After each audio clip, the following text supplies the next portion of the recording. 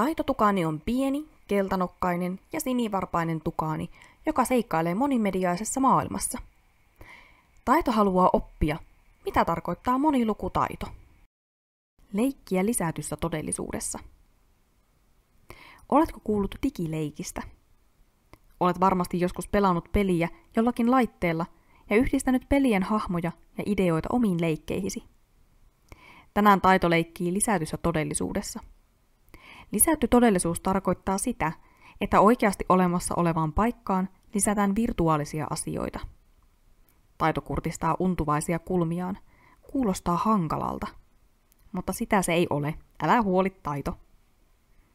Taito käyttää leikissään peliä 3DPR.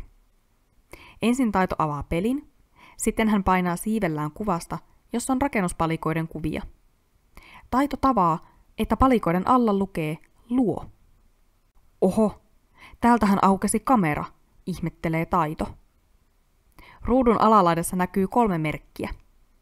Ensimmäinen merkki kuvaa rakennuspalikoita. Kas tässä, Taito näyttää varpaallaan. Merkkiä painamalla alkaakin tapahtua kummia. Pesukarhu pyytää Taitoa istahtamaan mättäälle ja kertomaan, mitä eläimiä metsässä voisi asua.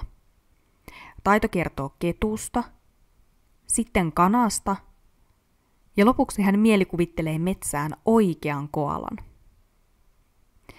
Taito istuu edelleen yksin mättäällä, mutta mitä lisätyssä todellisuudessa tapahtuukaan? Pesukarhu on tuonut metsään koko joukon virtuaalisia eläimiä taidon tarinaa rikastamaan. Kokeile sinäkin pelata 3D-PR-peliä. Millaisia satuja ja satuhahmoja sinä luot? Mitkä taidon mielikuvittelemista eläimistä voisivat oikeasti tulla vastaan suomalaisessa metsässä?